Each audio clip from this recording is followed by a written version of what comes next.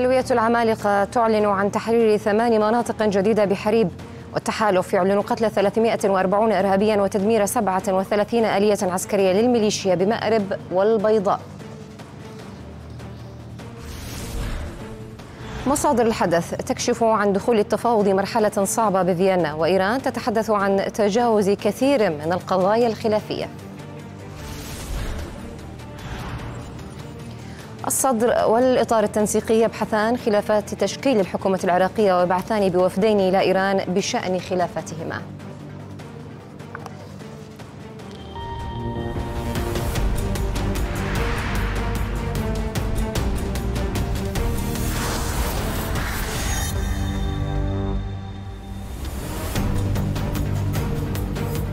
طبتم وطابت أوقاتكم مشاهدينا وساعة إخبارية مفصلة والبداية من اليمن. حيث حررت قوات العمالقة مناطق جديدة بمديرية حريب منها قرى بني قيس وآل موسى وجرادة والهجلة وعكرمة أبو طهيف وآل العطير وآل موسى وحلوة بعد معارك عنيفة خاضتها قوات العمالقة الجنوبية ضد الحوثيين. تكبدت الميليشيات الحوثية خسائر فادحة في العتاد والأرواح وسقط مئات القتلى والجرحى في صفوف الميليشيات. فيما لاذ من تبقى منهم بالفرار هذا وكانت قوات العمالقة الجنوبية قد تمكنت من تحرير مناطق شاسعة في مديرية حريب في الأيام الماضية بعد دحر الميليشيات الحوثية من مديريات شبوة. قال تحالف دعم الشرعية في اليمن إنه نفذ 33 استهدافا ضد الميليشيا في مأرب خلال ال 24 ساعة الماضية. كاشفا أن استهدافات التحالف في مأرب قتلت أكثر من 190 إرهابيا ودمرت 21 آلية عسكرية. التحالف أكد أنه نفذ 27 استهدافا في البيضاء خلال ال 24 ساعة الماضية. موضحا أن عملية الاستهداف في البيضاء أسفرت عن مقتل أكثر من 150 إرهابيا ودمرت 16 آلية عسكرية. ذكر التحالف أنه أحبط أيضا محاولة متعمدة للميليشيا لاستهداف المدنيين والأعيان المدنية. متوعدا بأن أي محاولة عدائية للميليشيا سيترتب عليها استجابة فورية للتهديد.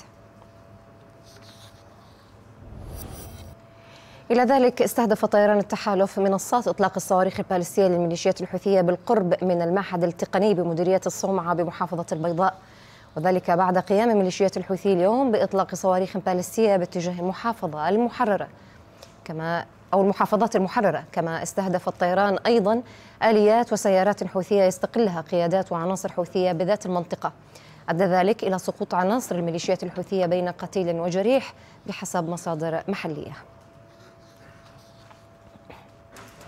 طلبت قيادة القوات المشتركة للتحالف من اليمنيين عدم استخدام الطرق المؤدية إلى المديريات والتي تشهد عمليات عسكرية حفاظا على سلامتهم. قال المتحدث الرسمي باسم قوات التحالف دعم الشرعية في اليمن العميد تركي المالكي أن قيادة التحالف تطلب من اليمنيين عدم استخدام الطرق القادمة من محافظتي مأرب والبيضاء إلى مديريات حريب وعين وبيحان وعسيلان بدءا من مساء اليوم مشيرا إلى أن هذه المناطق سيجري مراقبتها على مدار الساعة وسيتم استهداف أي تحركات عليها شن طيران التحالف غارتين جويتين استهدفتا مواقع وآليات عسكرية للميليشيا الحوثية في المحور الشرقي خط الأسفلت السوداء وهي في جهة جبل الحشفة الاستراتيجي شمالي مدينة حريب والتي تحقق فيها أو تحقق فيها ألوية العمالقة تقدما كبيرا. كانت قوات الجيش الوطني والمقاومة قد سيطرت على معظم أجزاء جبل الشرقي بعد فرار الكثير من مقاتلي ميليشيات الحوثي والتي كانت تتمركز فوق الجبل. وقد تمت محاصرة هذه المنطقة بالكامل من المحور الرملي حيث تدور الشباكات في منطقة اللجمة على أطراف البلق بالتزامن مع وصول قوات الجيش إلى أطراف معسكر أم ريش في جنوب شرق مأرب. شارفت أيضا قوات الجيش الوطني وألوية العمالقة الجنوبية الانتهاء من تحرير مديرية مديرية حريب وقرية جوبه التابعتين محافظه مأرب. أفاد مراسل الحدث بأن قوات الجيش والمقاومة أطبقت حصارها بالكامل على ميليشيات الحوثي جنوب محافظة مأرب. حيث ساندت طائرات التحالف تلك المعارك مستهدفة عدة شاحنات عسكرية تتبع الميليشيات كانت في طريقها لتقديم تعزيزات للعناصر الحوثية. تتمركز عناصر الحوثي في المناطق السكنية كما تقوم بزرع الألغام في المناطق التي أوشكت قوات الجيش وألوية العمالقة على تحريرها جنوب مأرب. سيطرت أيضا قوات الجيش الوطني والمقاومة على معظم أجزاء جبل الشرقي بعد فرار الكثير من مقاتلي ميليشيات الحوثي والتي كانت تتمركز فوق الجبل. وقد تمت محاصرة هذه الميليشيات بالكامل من المحور الرملي حيث تدور هذه الاشتباكات الآن في منطقة اللجمة على أطراف البلق بالتزامن مع وصول قوات الجيش إلى أطراف معسكر أم ريش في جنوب شرق مأرب. وفي سياق متصل تواصل ألوية العمالقة الجنوبية تقدمها في جبهة حريب ومحاور أخرى مدعومة بطائرات التحالف التي تستهدف طواقم عسكرية كانت تحمل تعزيزات للحوثيين في جبهة حريب. بالتالي عادت الأوضاع لطبيعتها في محافظة شبوة بعد تحريرها من ميليشيات الحوثي. كاميرا العربية الحدث نزلت إلى أسواق شبوة وأسواقها لترصد الوضع المعيشي للمواطنين وسألت المواطنين عن تطلعاتهم في الفترة المقبلة. هدوء في محافظة شبوة ومديرياتها المختلفة بعد طرد ميليشيات الحوثي منها فيما بدت الأوضاع الأمنية مستقرة بصورة كبيرة. والله الأوضاع الأمن مستتب إن شاء الله. ونطمح للمزيد. بعد تحريرها الحمد لله أنها تحررت من بيحان مديرية بيحان تحررت. وإن شاء الله أنها إلى تحرير اليمن كامل. لاحظنا تحسن في الكهرباء.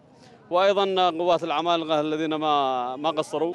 غير أن جزءا من معاناة المواطنين ما زال مستمرا مع ارتفاع الأسعار كما يقول المواطنون في أحد أسواق شبوة الذين يرغبون في تشديد الرقابة على الأسواق لضبط الأسعار. الطماط غالي البطاط غالي البرتقال غالي كل شيء غالي. يخفضون يساعدوا الناس الناس بعض الناس ما بيدها حيلة ما يقدر يجيب حتى حق مصروف أولاده. نشتري المواد الغذائية تنزل مش الصرف ينزل والمواد الغذائية مرفوعة مكانها. الصرف يطلع والمواد الغذائية تطلع. الصرف ينزل والمواد الغذائية ما فيش رقابة ولا تفتيش.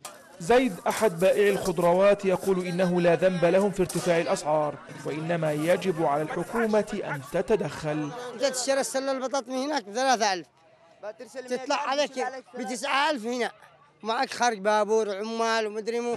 يعني تعب 14 هبوط الصرف. حرص على التجار ينزل الصرف ينزل والاسعار هي ذكية. ما بش الآن نزل ل 220 وكيس الدقيق ب 30 هو نفس السعر. فيما يستمر ارتفاع سعر البنزين الذي يرى المواطنون أنه يؤثر على أسعار كافة السلع والخدمات. البنزين والله في حالة طوارئ وبنزين غالي جدا جدا جدا. والناس محتارين في أمرهم. نطالب الجهات المختصة بشكل عام. أن أن يشوفوا حقوق المواطن. محافظة شبوة من جهتها تقول إنها بدأت خطة تنمية لكافة مديريات المحافظة خاصة المحررة حديثا منها. بعد تحريرها كاملة من ميليشيا الحوثي تبقى محافظة شبوة على موعد مع تنمية وعدت بها. تنمية يتمنى المواطنون هنا أن تظهر آثارها عليهم سريعا بعد فترة طويلة من المعاناة. أحمد بقاتو الحدث محافظة شبوة. من محافظة شبوة ينضم إلينا موفد الحدث الزميل أحمد بقات وأهلا ومرحبا بك أحمد مجددا. وهنا الحديث عن مجموعة من المستجدات مع كل ساعة يتم التغير في استراتيجية التقدم بالنسبة لقوات العمالقة الجنوبية. يساندها الجيش ويساندها أيضا آه، المخلصين من أبناء آه، هذه المحافظة. هنا الحديث على أنه حتى آه، الإعلان تحرير ثمان مناطق جديدة في حريب. ربما هنا الحديث أيضا عن مسار آخر. يعني خلال ساعات ربما سيعلن عن شيء قادم هل هناك أي تفاصيل؟ نعم يعني باتت أسماء يعني كل من حريب وكذلك أيضا الجوبة. هناك تقدمات بصورة كبيرة في هاتين المديريتين. إذا بدأنا بحريب آه، حريب هناك آه، سيطرة شبه كاملة على معظم مناطق هذه المدينة. والولايه العمالقة أعلنت قبل قليل أنها آه، تقدمت في عدة أماكن وعدة مناطق داخل هذه المديرية التي تقع في جنوب مارب وكما ذكر الناطق الرسمي بالأمس أنه لا تفصل إعلان أو لا يفصل إعلان التحرير لمديرية حريب إلا آه، آه، وقت قصير للغاية. التقدمات تبقى مستمرة ليس فقط في حريب وإنما أيضا في عدة مناطق آه، الجبهة الجنوبية قوات الجيش الوطني لمأرب قوات الجيش الوطني والمقاومة تتقدم بصورة مستمرة. قبل قليل أعلنت القيادة المسلحة قيادة القيادة اليمنية أو قيادة الجيش اليمني عن تقدمات بصورة كبيرة وصلت إلى منطقة اللجمة وكذلك محاولة لقطع طريق التوفيق ما بين الجوبة والملعة هذه التقدمات وصلت أيضا إلى معسكر أمريش. الجيش الوطني يقول أنه أيضا سيطر على جبل البور. هذه التقدمات توضح بصورة جلية الانهيارات المتتالية والمتلاحقة في صفوف ميليشيا الحوثي التي باتت مشتتة بين أكثر من جبهة. لا تستطيع التركيز على هذه الجبهة أو تلك. ليس فقط أيضا يعني ليس فقط هذه التراجعات كانت سببا بما تقوم به قوات الجيش الوطني والمقاومة وإنما أيضا طيران التحالف الذي استهدف في صرواح في الجبهة الغربية لمأرب تجمعا واجتماعا لعناصر حوثية. ضم هذا الاجتماع عدد من القيادات. هذه الضربة الجوية أسفرت عن مقتل معظم من حضروا هذا الاجتماع وجرح البعض الآخر. هناك صعوبة كبيرة الآن ويعني بعد أيام ستكون هناك استحالة في يعني إرسال تعزيزات وإرسال ذخائر إلى الميليشيا الحوثية المحاصرة في هذه الجبهات المختلفة. إذا نحن نتحدث عن تفعيل لمختلف الجبهات وكذلك سيكون هناك خلال فترة ليست بالطويلة التحام لجبهات في ملعى ما بين قوات الجيش الوطني والمقاومة وكذلك أيضا ألوية العمالقة التي تتقدم بصورة مستمرة.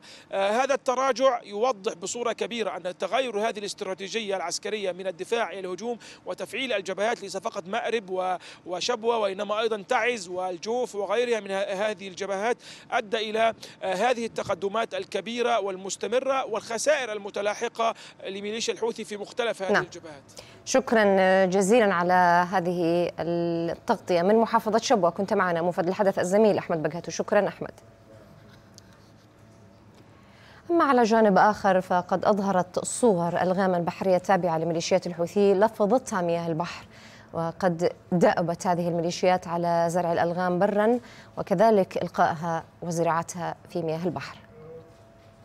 هذا اللغم الأول ها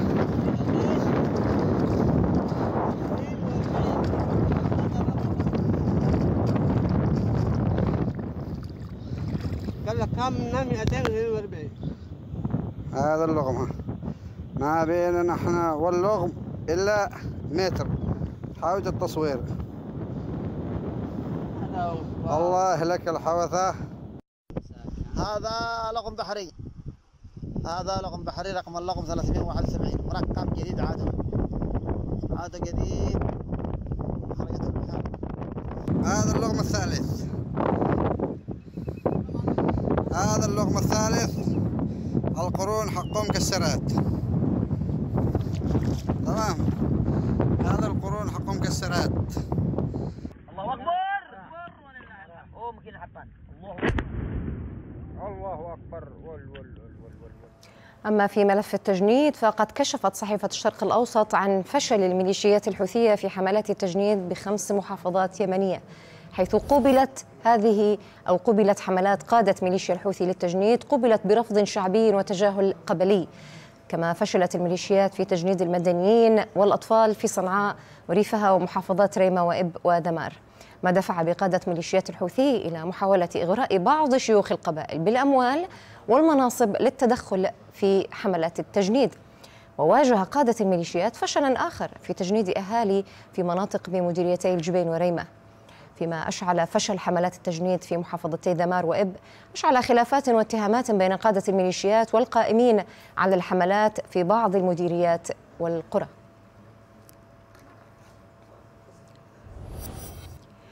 ينضم إلينا من القاهرة المحلل العسكري اليمني العميد جميل المعمري أهلا ومرحبا بك معنا في هذه الساعة المفصلة. سيادة العميد سيادة العميد هنا التقدم مستمر و أهلا ومرحبا. أه نتحدث عن ساعات قليلة ويعلن كل ساعة تقدم. كل ساعة يبدو أن هناك أمور تبدأ باتجاه سير المعركة بشكل وزخم أكبر.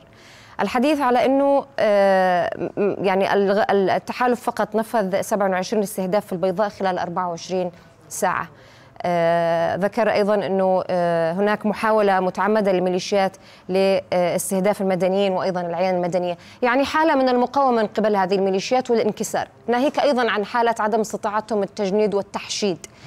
كم يضيف ذلك إلى ساحة المعركة من زخم وكم يقرب المسافة الآن لالتحام هذه القوات ووصولها إلى مأرب؟ بسم الله الرحمن الرحيم. طبعا الميليشيات الحوثية اليوم كما تحدثتم في تقريركم نعم هناك عجز كبير لديهم في القوى البشرية وبالذات بعد هروب الكثير من مقاتليهم من الجبهات وهناك أيضا نقاط أمنية وضعتها الميليشيات الحوثية في الطرقات لمنع المقاتلين من الهروب وهناك أيضا مورست أعمال إعدامات جماعية لأفراد تلك الميليشيات الذين أصروا على الهروب من الجبهات. أيضا لاحظنا هناك العديد من المشرفين أحدهم كان مشرف مديرية حريب الذي تم قتله وسحله في الشارع بسبب أنه يعني استوت بعض الاشكالات مع قيادات الميليشيات والتي حاولت الهروب من تلك المديرية بالإضافة إلى أن هناك لاحظنا الرعب والتشتت وتشرذم الميليشيات من جراء سماع أخبار أن قوات ألوية العمالقة على أبواب المديرية وأن هناك محاصرة لتلك المنطقة. فبالتأكيد الرعب والتشتت وأيضا التزعزع في قوى الميليشيات بسبب أيضا الضربات القوية الاستباقية التي مارسها التحالف العربي واليوم كان هناك ثلاث أطقم تم تدميرها عبر طيران التحالف. وأيضا هناك أحد العربات التي كانت تحمل الذخائر والتي تم استهدافها بشكل مباشر. طبعا أيضا لاحظنا أن اليوم الميليشيات تقوم بعملية عسكرية هي الأصعب من نوعها وهي المعركة التي تدار من جبهتين متناقضتين أو مختلف أو متقابلتين وهي الجبهة الشمالية والجبهة الجنوبية. بمعنى أن الميليشيات اليوم تقع تحت حصار أو بين قوسين قوتين احدهما الويه العمالقة القادمة من الاتجاه الجنوبي والقوه الأخرى وهي القبائل بالإضافة إلى الجيش الوطني القادم من المناطق الشمالية. وهذه هي تعتبر من أصعب المعارك التي يعني تدرس في العلوم العسكرية. ولذلك أنا أعتقد أن الميليشيات اليوم تحاول الانتحار من خلال استمرارها في هذه المعركة الخاسرة واستمرارها البقاء في المناطق التي تتواجد فيها سواء في أمريش سواء في الفليحة سواء في الجوبة يجب أنا من وجهة نظري إن كانت هناك قيادات عاقلة وتريد حقن دماء أفرادها أن تنسحب بشكل سريع من هذه المنطقة وإلا لا حكمت على مقاتليها في كل هذه المنطقة بالنهاية لا محالة إما الاستسلام وإما القتل وإما الأسر لا مجال لهم بالصمود أكثر من هذا. عندما تكون هناك طيران وغطاء قوي وكثافة نارية قوية وبالإضافة إلى قوتين من الشمال ومن الجنوب فمن المستحيل أن تستمر صمود هذه الميليشيات. وأنا أعتقد أننا خلال الأيام القليلة سنشهد استسلام هذه المجاميع أو قتلها أو أسرها. نعم. نعم بالحديث عن مدى التقدمات هنا يعني قوات العمالقة تحرر ثمان قرى بمديرية حريب. اقتربت يعني على الأقل إن استطعنا إعلان ساعة الصفر كما تحدث عنها التحالف اليمن السعيد يعود. يعني هنا كثير من الانتظار وكثير من التفاؤل ربما فيما هو قادم على الأقل لتحرير كثير من المحافظات التي ما زالت واقعة تحت وطأة هذه الميليشيات.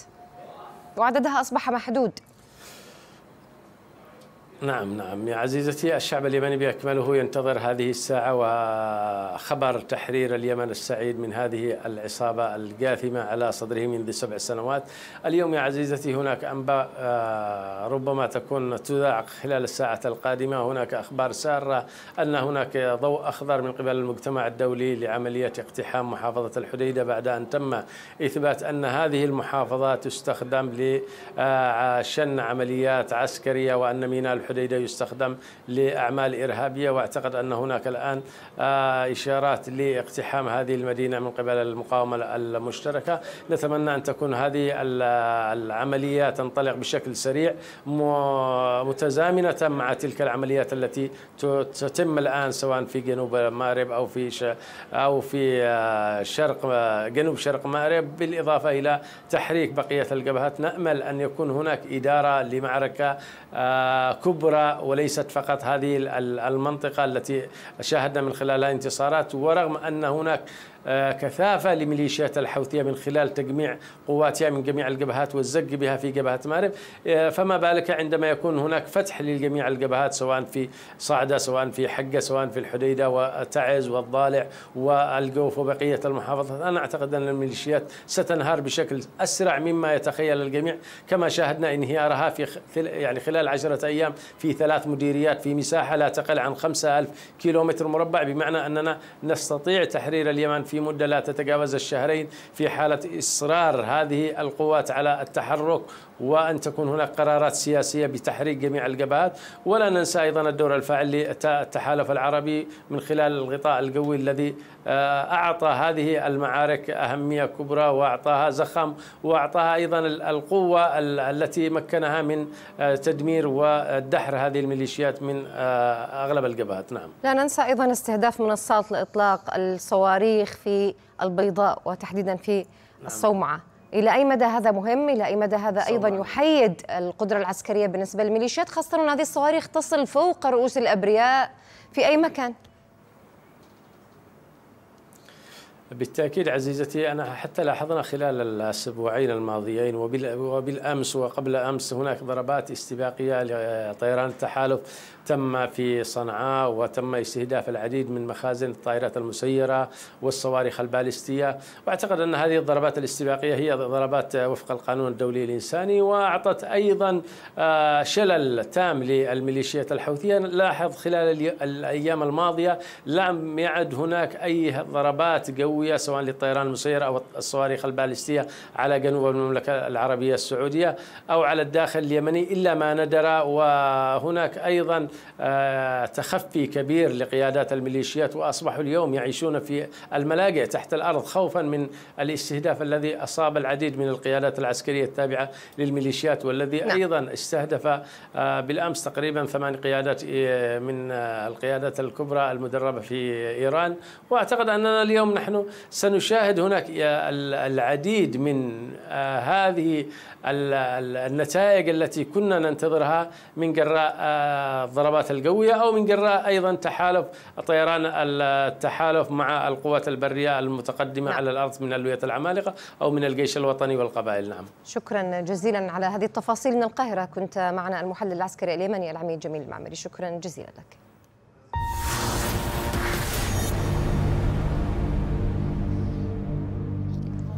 وفي شأن آخر نقلت مراسلة الحدث عن مصدر مقرب من مفاوضة فيينا مع إيران أنه تم الوصول إلى مرحلة من التفاوض هي الأكثر صعوبة وإلحاحا وأن لا تفاوض على أي اتفاق مرحلي.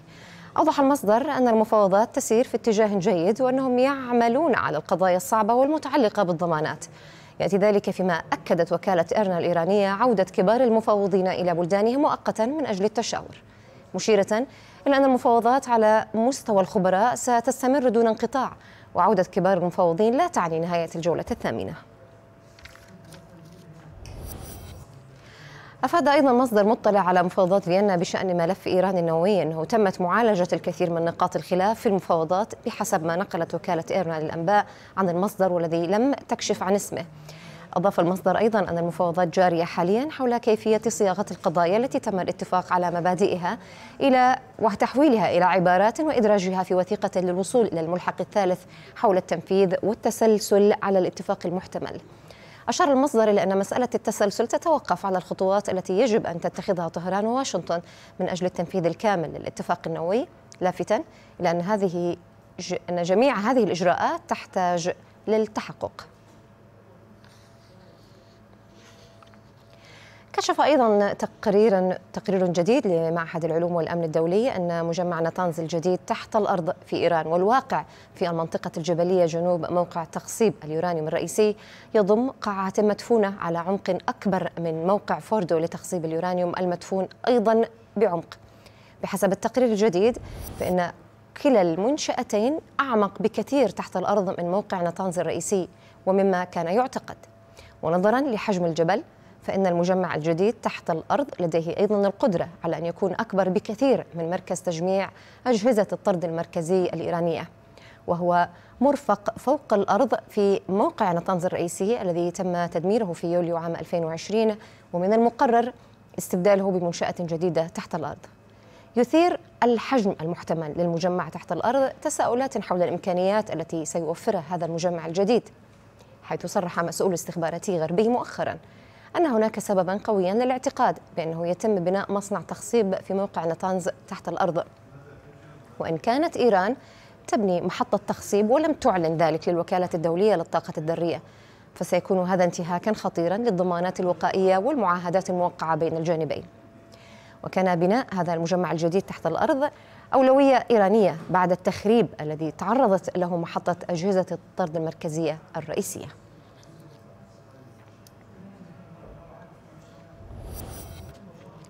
من عمان ينضم إلينا الباحث في الشأن الإيراني الدكتور نبيل عتوم أهلا ومرحبا بك دكتور نبيل دكتور نبيل دعنا نعود لأساس هذا الخلاف ما بين إيران وما بين واشنطن ونعود أيضا لهذه القراءة من خلال التفاؤل المطروح الآن في إنه خلاص وصلوا إلى ربما آه، آه، فقط شكل أو أو أو نقاط توضع على آه، على الحروف فيما يخص اتفاق فيينا.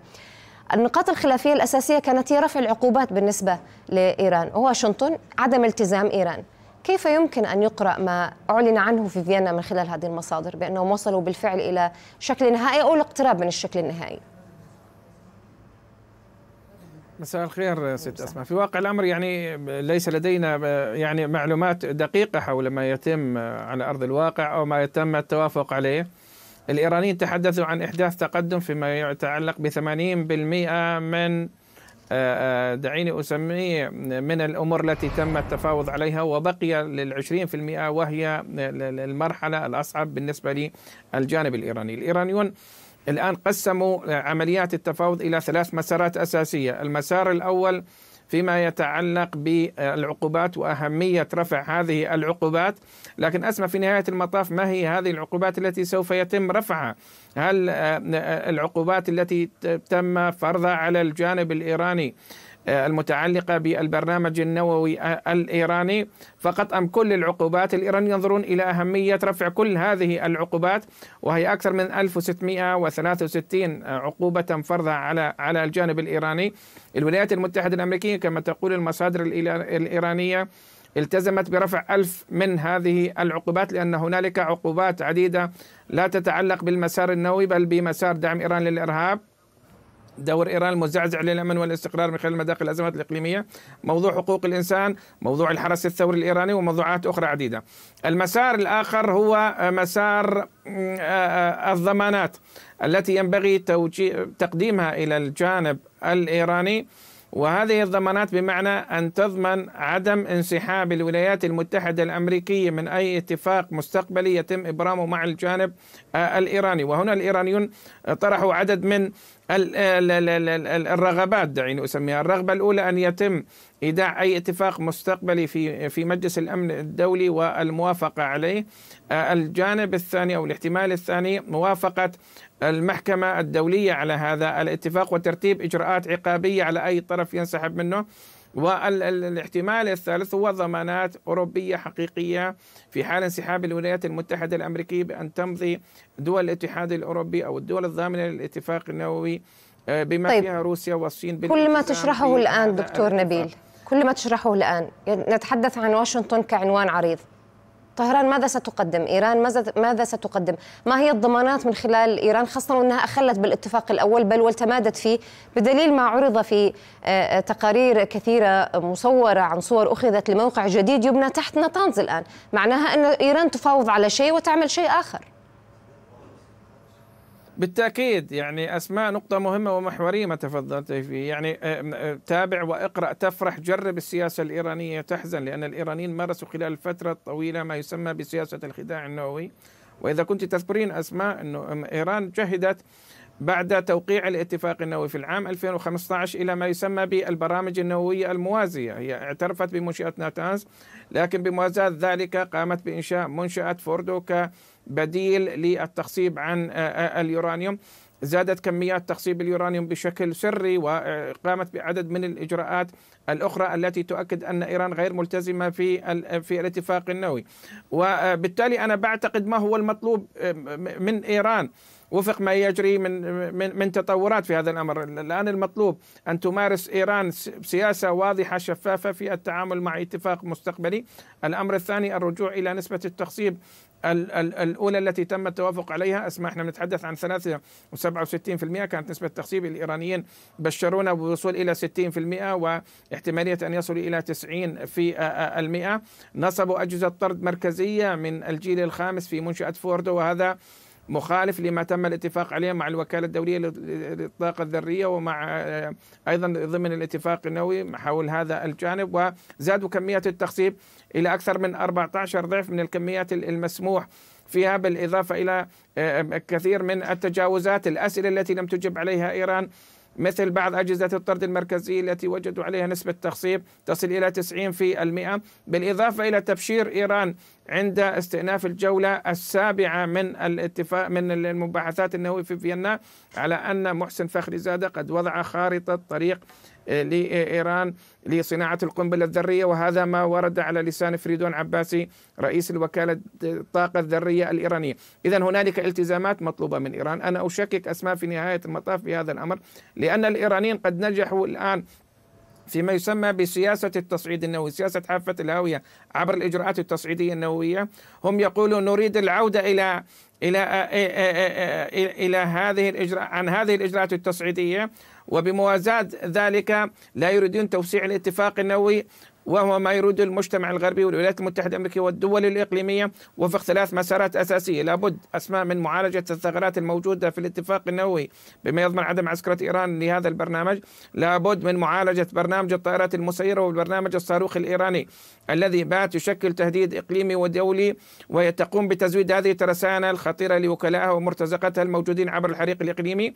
المسار الثالث هو دور إيران المزعزع للأمن والاستقرار من خلال مداخل الأزمات الإقليمية إيران يعني عاثت خراب وفوضى في المنطقة أسماء أنشأت أكثر من 45 ميليشيا موجودة في العراق 63 ميليشيا موجودة في سوريا حزب الله وتفريعاته الموجودة في المنطقة. الحركة الحوثية وغيرها من هذه التنظيمات التي تعيث خراب وفوضى في المنطقة. وبالتالي أي اتفاق لا يتضمن هذه المسارات الأساسية هذا يعتبر اتفاق ناقص بامتياز. إيران تريد العودة إلى الاتفاق اللي تم إبرامه في العام في العام 2015 وهي تريد من خلال سياسة المماطلة كسب نعم. الوقت تحقيق أكبر قدر من الإنجازات في المجال النووي لابتزاز المجتمع الدولي وبالذات الولايات المتحدة الأمريكية. شكرا على هذا الطرح والاسترسال والتفاصيل الدقيقة التي طرحت من خلالك الباحث في الشأن الإيراني الدكتور نبيل العتوم. شكرا جزيلا لك.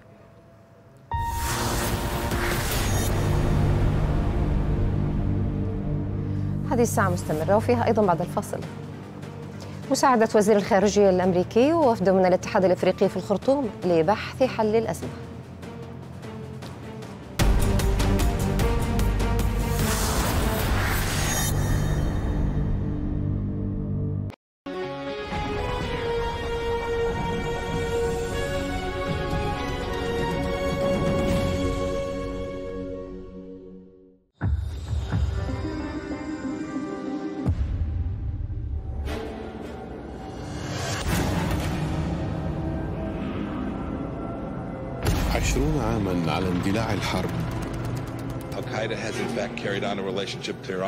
Three decades.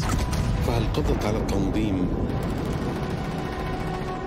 أم تسلل قادته عبر الجبال بحثا عن ملاذ ومنطلق جديد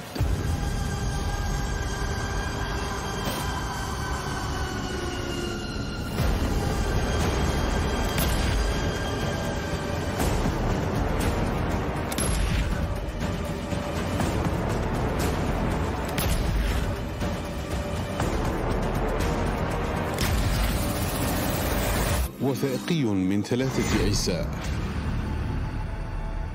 وجوه القاعدة في إيران قريبا على شاشة العربية. سنوات كانت حافلة بالأحداث غير المتوقعة. تعلمنا أنه لا يمكن التكهن بأي شيء. مستقبل مبهم وغامض وأسئلة جديدة. كل يوم أكثر الأخبار تعقيدا تصبح مفهومة. عندما تحلل وتقرأ بالطريقة الصحيحة وبالاستعانة بالخبراء والمختصين.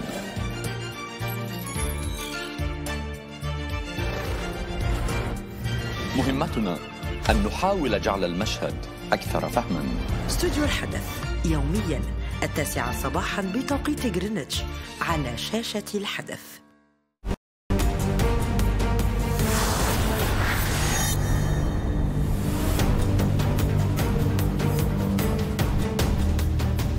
أهلا بكم من جديد وإلى الشأن العراقي حيث قال آمر قاعدة بلد الجوية في العراق ضياء محسن إن الطائرات المسلحه ومسيرة ستشارك في تأمين الأجواء المحيطة بالقاعدة الواقعة في محافظة صلاح الدين. مؤكدا أن القوات العراقية أحبطت محاولة استهداف للقاعدة بثلاث طائرات مسيرة. آمر قاعدة بلد أوضح أن المسيرات لاذت بالفرار بعد إطلاق النار عليها من قبل قوات حماية القاعدة. مشيرا إلى أن الطائرات المسيرة انطلقت من مكان قريب لذلك تعذر رصدها عبر الرادار. وقال محسن أنه لا يمكن تحديد مكان انطلاقها بشكل دقيق وأنه تم رصدها بالعين المجردة من أبراج الحماية. كانت عفوا كانت ثلاث طائرات مسيرة قد اقتربت فجر اليوم من المحيط الجنوبي لقاعدة بلد الجوية في محافظة صلاح الدين شمال العاصمة بغداد بحسب ما أعلنت خلية الإعلام الأمني العراقي. أوضحت الخلية أن القوى الأمنية قامت بفتح النار باتجاه هذه الطائرات والتي لاذت بالفرار وأفاد مراسل الحدث أيضا أن المسيرات كانت تهدف للهجوم على شركة لوكهيد مارتن الخاصة بصيانة طائرات اف 16 في الأثناء. أفاد أيضا مصدر أمني باستهداف قاعدة زاليكان شمال شرق الموصل بصاروخين حيث تتمركز القوات التركية. سقطا أيضا على مقربة من القاعدة. أفاد المصدر أن الصاروخان انطلقا من قرية بارزاي خلف جبل مقلوب شمال شرق الموصل وقد تم ضبط صاروخين اثنين لم ينطلقا.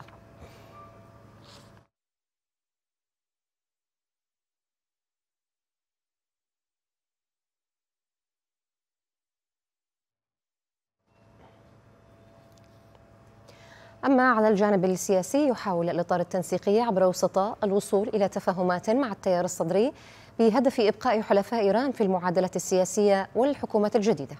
كان الإطار التنسيقي قد عقد اجتماعا بالأمس في منزل زعيم تيار الحكمة عمار الحكيم. مصادر سياسية كشفت توجه وفدين إلى طهران. أحدهما يمثل الصدر والآخر يمثل الإطار في محاولة للبحث عن حل لخلافاتهما برعاية إيرانية هذه المرة. كما تتوجه الأنظار حاليا إلى المحكمة الاتحادية والتي يتوقع أن تصدر قرارها خلال الأيام القليلة المقبلة بشأن الطعن بعدم شرعية الجلسة الأولى للبرلمان وانتخابات رئاسية أو انتخاب رئاس رئاسية محمد الحلبوسي ونائبيه. اعتبر معهد واشنطن لسياسات الشرق الأدنى أن رئيس أركان الحج الشعبي أبو فدك المحمداوي يسعى إلى ترسيخ سلطته بل وضمان خضوع كافة ألوية الحشد لسلطته أيضا. المعهد وفي تقرير له أشار إلى أن التحركات الأخيرة التي قام بها أبو فدك الموالي لإيران تستهدف زرع الانقسامات بين ميليشيات الرئيسية لا تستجيب لما يسمى بالمقاومة.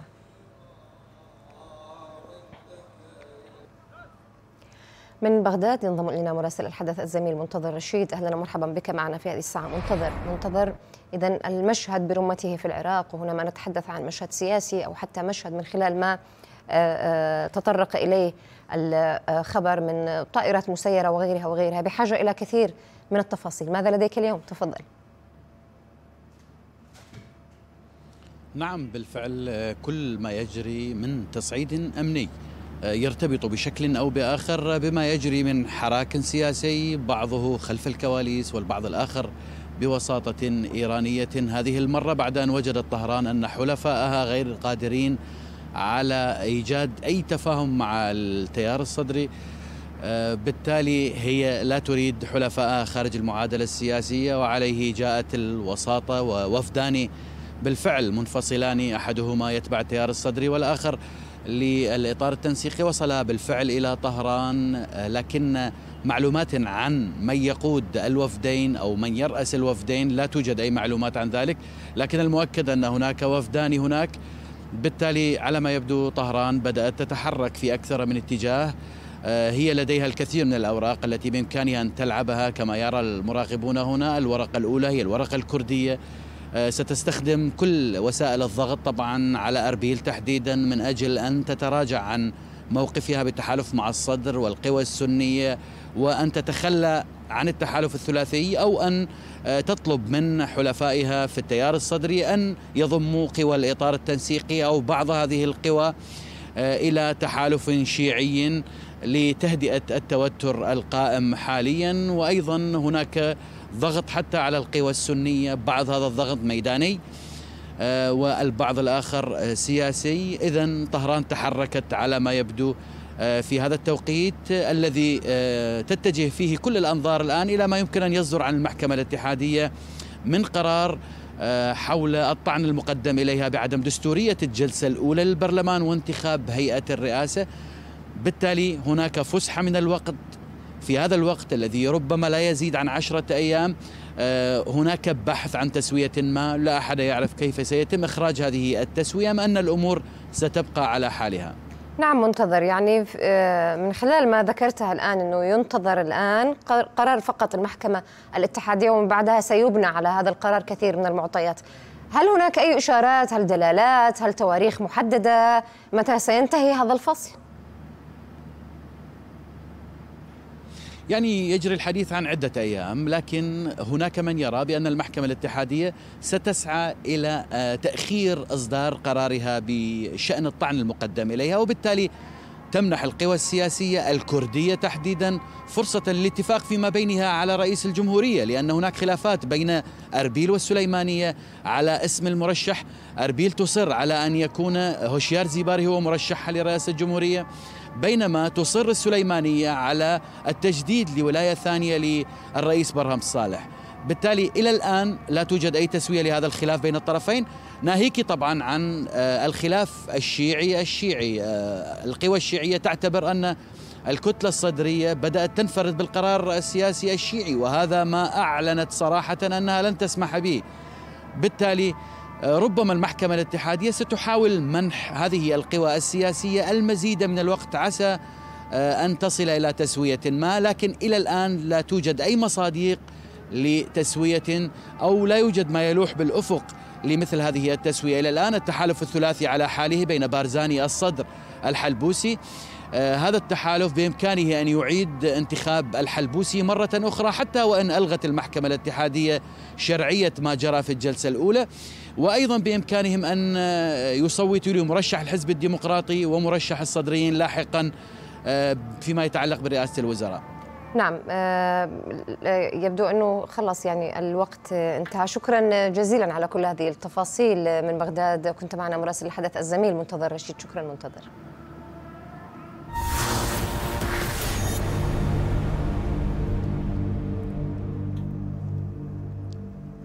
وإلى السودان حيث التقى وكيل وزارة الخارجية السودانية المكلف عبد الله عمر بشير بمفوض الشؤون السياسية والسلم والأمن في الاتحاد الإفريقي ووفده المرافق بمكتبه في الخرطوم. أكد المبعوث الأفريقي أن زيارته تأتي في إطار تقديم الدعم والمساندة من الاتحاد الإفريقي للسودان من أجل استقراره والمساعدة في استكمال عملية التحول الديمقراطي. فيما ثمن وكيل وزارة الخارجية دور الاتحاد الإفريقي في تسهيل التوافق حول الوثيقة الدستورية ودعم الانتقال الديمقراطي وصولا إلى الاستقرار مشددا على الروابط التاريخية والسياسية والاجتماعية بالاتحاد.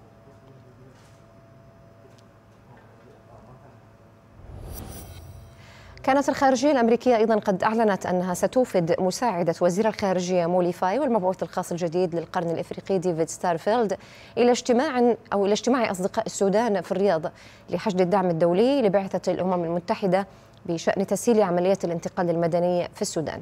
فيما ستتوجه موليفاي وساترفيلد إلى الخرطوم للقاء ناشطين من أنصار التحول الديمقراطي وشخصيات سياسية وقادة عسكريين إضافة إلى أفراد من المجتمع المدني للتأكيد على التزام واشنطن بتحقيق الحرية والسلام والعدالة للشعب السوداني.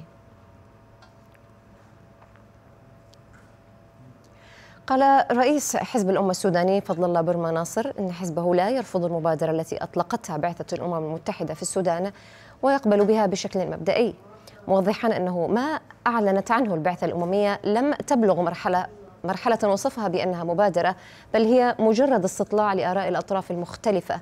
أشار ناصر إلى أن أول من التقى به مبعوث الأمم المتحدة فولكر بيرتس ورئيس المجلس السيادي وهذا مؤشر على أنه حصل على موافقة مبدئية من العسكريين. من الخرطوم ينضم إلينا مراسل الحدث نزار البقداوي أهلا ومرحبا بك معنا نزار. نزار. يعني دائما ويمكن شخصيا أنا كنت بتكلم على إنه لابد من إيجاد أفق لابد من إيجاد ضغوط حقيقية الآن لإيجاد مخرج للسودان على الأقل أو حتى اتضاح الرؤى. هل نستطيع القول الآن بكل هذا الزخم الآن؟ والولايات المتحدة تتدخل أصدقاء السودان سيعقدون آه، شيء ما في الرياض. بدأ آه، آه، يرسم ملامح لشيء قادم؟ هذا الشيء القادم الذي تتحدثين عنه يبدو أنه عسير إذا لم يجد عزم السودانيين.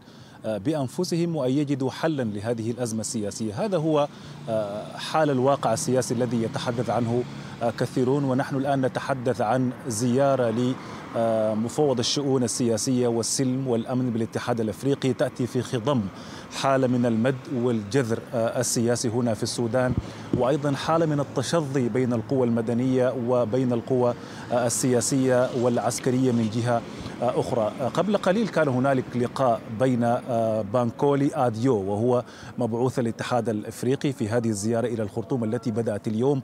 التقى عصر هذا اليوم رئيس مجلس السيادة الانتقالي عبد الفتاح البرهان وسلمه رسالة خطية من موسى فكي رئيس مفوضية الاتحاد الأفريقي. فحوى هذه الرسالة تتحدث عن رؤية الاتحاد الأفريقي للأزمة السياسية في السودان. وهذه الرؤية تحديدا كان ممثل الاتحاد الأفريقي هنا في الخرطوم محمد الحسن بلعيش قد قدم إشارات واضحة بأن هذه الرؤية ترتكز ابتدارا على رؤية السودانيين لحل إشكالياتهم وإحداث تقارب بين المدنيين والعسكريين والاستماع إلى وجهات النظر المختلفة سواء كان من المدنيين أو من العسكريين أو من تجمع المهنيين ولجان المقاومة وكافة الفاعلين في المشهد السياسي.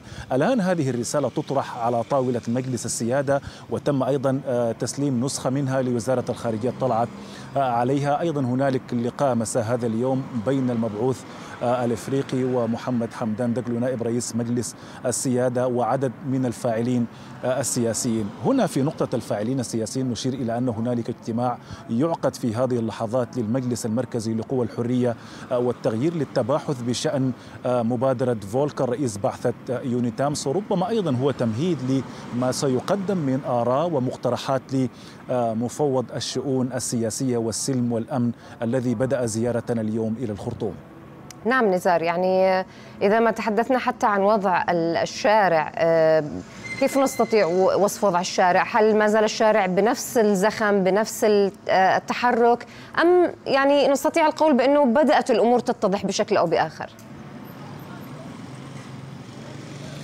هي الأمور واضحة وجلية وباينه، الشارع الآن يتحدث إذا ما تحدثنا تحديدا عن لجان المقاومة والتنسيقيات المختلفة وتجمع المهنيين السودانيين وهم الذين يحركون القسط الأكبر من الشارع السوداني. لديهم رؤية واضحة وهذه الرؤية تتكرر في كل تظاهرة بأنه لا تفاوض ولا شراكة مع العسكريين وأن هذه المبادرات المطروحة سواء كانت مبادرة أساتذة الجامعات السودانية أو المبادرات التي الآن تم استجماعها في مبادرة واحدة لقوى الحرية والتغيير أو مبادرة الاتحاد الأفريقي وحتى المبادرة الأممية كلها إذا ما تحدثت بحسب الشارع أو تحديدا لجان المقاومة عن جلوس مع المكون العسكري فإنها مرفوضة، بالتالي الآن السؤال الجوهري المطروح بين ثنايا كل هذه المبادرات من سيجلس مع من؟ إذا كان الجلوس بين المكونات السياسية والعسكريين يشكل معضلة بالتالي لا بد من إيجاد مخرج آخر ولا بد من